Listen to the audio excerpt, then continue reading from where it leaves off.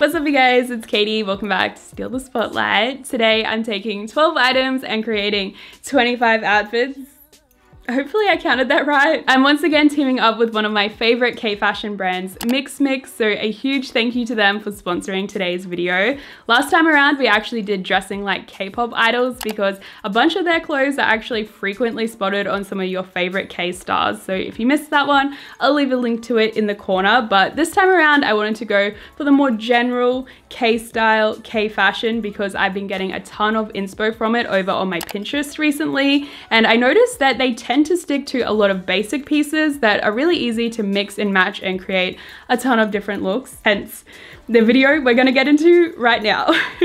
okay, so I've chosen 12 super versatile items from MixxMix and also gonna be using a handful of accessories just to keep the looks fresh. But today we're working with the ever so popular cropped cardigan, a white denim skirt, a check shirt in pastel colors for something a bit different though, my absolute favorite thing to buy from MixxMix, their jeans. I pretty much live in these. I got a black pair and a light wash in two different fits as well. A basic black crop top and a white blouse, a neutral toned blazer, striped long sleeve t-shirt, a grid print button up I guess, casual black shorts, which also have a matching black tee, but I was half asleep when ordering and didn't realize I didn't add them to my cart. So lastly, today we're working with this Fila graphic tee instead.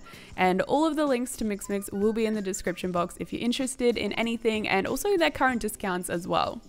Kicking things off with one of my favorite looks at the moment. This is legit just a go-to of mine. A cropped fitted top and then pairing it with a more loose fitted pair of baggy jeans. And I've been over the skinny jean trend for quite some time, but mum jeans just never felt quite right either. So thank goodness K Fashion came, saved the day with these more wide leg baggy option, which now I just live in. So let's style them again. Round two, still keeping that relaxed, effortless sort of vibe to it. Obviously switched out to the white top instead and then threw on an extra layer. I am a big fan of any sort of oversized button up. I feel like I will throw it on with anything. To finish it off, accessories wise, I decided to go with some sneakers and a pair of glasses as well, but however you see fit, Switching into something a little more feminine, I suppose, I kept on the same white blouse, teamed it with the white denim skirt, and then also this check print shirt. That always feels like a tongue twister for some reason, but I really like that this is in a more soft pastel toned color, just to switch up from the grid print one that we saw earlier. But the white denim skirt doesn't have to go for that girly sort of vibe, so we switched back in to the black button up and I just added on a lot of silver accessories. You guys will see I switch between the silver and gold depending on if I'm styling more black tones or more neutral tones. Also, if you're more limited on footwear choices, you could totally just stick with your sneakers. I decided on these boots just to dress the look up a little bit while still maintaining that edge. Okay, so upon reflection, I kind of look like Freddy Krueger in this outfit, but um, Freddy Krueger, but make it cute, I suppose. Halloween is just around the corner, right? But I do like this combination in general. Obviously, I really layered the accessories on thick, which I mean, I don't know if that's so much a K fashion thing, but it's definitely something I do a hell of a lot. You can easily keep the same outfit base and just switch up the layers for a brand new look. Obviously, in typical e-girl fashion, you have to style your long sleeve striped t-shirt with an oversized graphic t-shirt over the top. So that's exactly the vibe we're going for here. Also i am noticing i probably went a little bit too matchy matchy with the Fila but um, i think it still kind of works Slipping into something more casual now, I still kept the Fila t-shirt and the matching belt and the sneakers. Wow, I am even more obnoxious than I realized. But anyway, we ditched the long sleeve from underneath and slipped into these super comfy black shorts just for a really casual, relaxed vibe. Obviously, you don't have to go as overboard with accessories as I do. I just can't help myself. So bucket hat, take it or leave it. Ooh, okay, this is one of my favorites. I was finally sick of the logo, so I just flipped it around to the back and then tucked it into my bra to kind of form a makeshift crop top. And then because I threw on the extra layer of the grid print shirt, it doesn't seem like I'm just wearing my t-shirt backwards. Once again, you could totally stick to sneakers, but I felt like whipping out the sandals made it a more K fashion vibe. Also made me feel like I was channeling my inner Suga, Yoongi, so represent, I guess. Okay, moving back into the more neutral tones, which means switching back to the gold accessories, and we're actually kind of going back to back with some of my favorite looks because I love how this one turned out. I am obsessed with the striped cardigan. Pretty much any look featuring this is one of my favorites, but I thought it was really fun to team it with the short sleeve blazer and the white denim skirt for a little bit more of a dressed up boss lady, but on the weekend vibe. Continuing on with that boss lady mentality, we are still sticking with the blazer, but you don't just have to wear it as an outerwear piece. Here I turned it into a shirt as well, and it is a little bit gapey because I don't have much going on in the chest area, so I just decided to kind of secure the situation by teaming it with this white belt bag as well.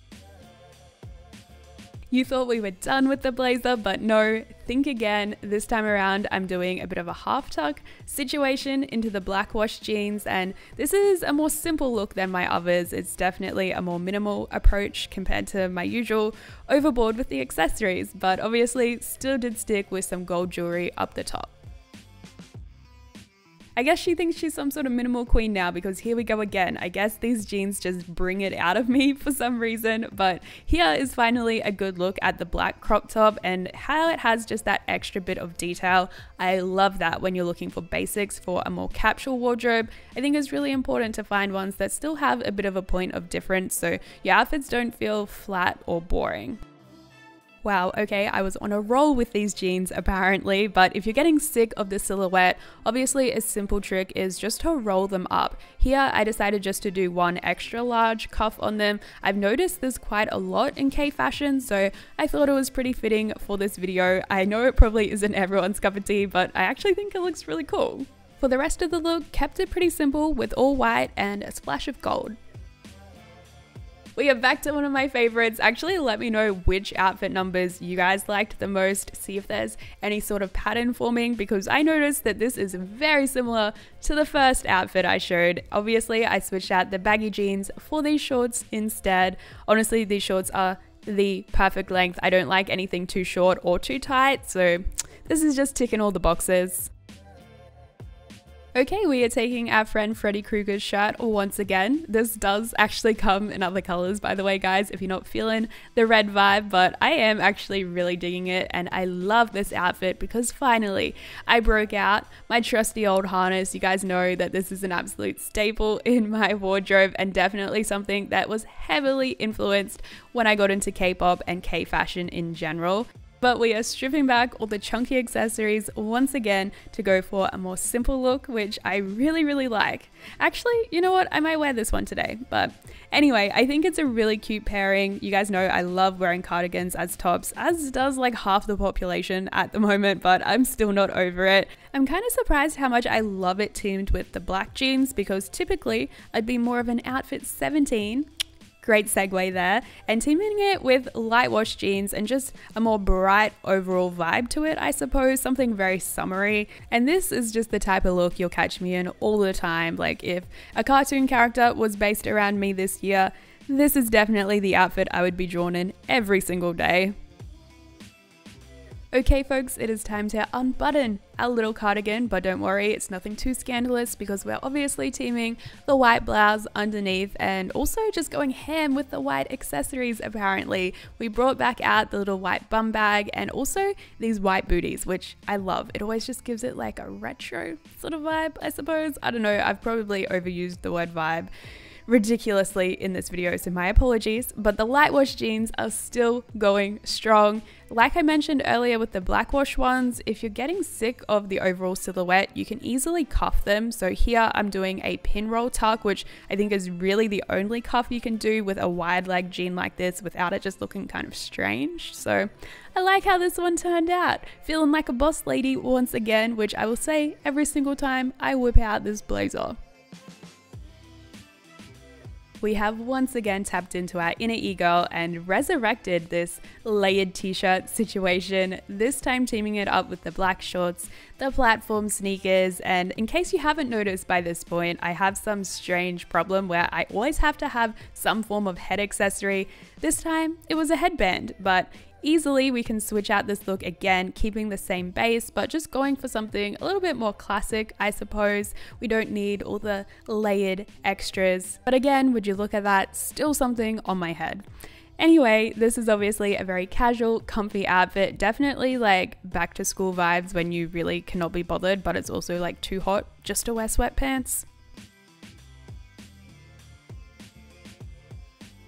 I know you must have been wondering where that plaid shirt went to, so finally I'm bringing it back. Honestly, I found it kind of tricky to style in the softer color palette. It was good for something different, but Definitely a little more out of my comfort zone. Obviously, at the end of the day, flannels like this though are just a wardrobe basic and you can team them with pretty much anything, so I just kept it simple. But if you are looking for a more creative way to style it, then I absolutely love turning them into a little one shoulder situation. And this is just how I do it. I'm not going to explain it, you can see it on screen that's how it goes down. It just tucks in at the back. You can definitely pin it if you want it to be a little bit more secure, but you could team this up with your jeans. Here, I decided to go with the white denim skirt because again, we hadn't seen it in a little while.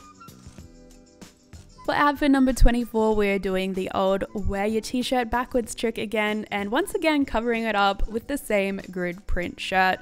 This time around though, we've teamed it up with the jeans and I kind of feel like it looks like I'm wearing a tool belt. There's so much stuff hanging off my jeans, but it's a look, it's a look.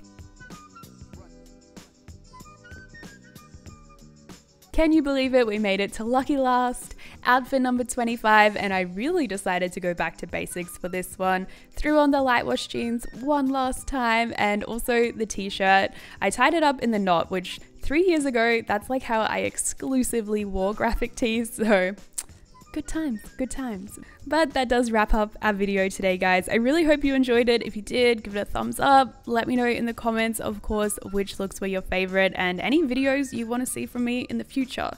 Thanks again for watching, and hopefully I'll see you next time. Bye!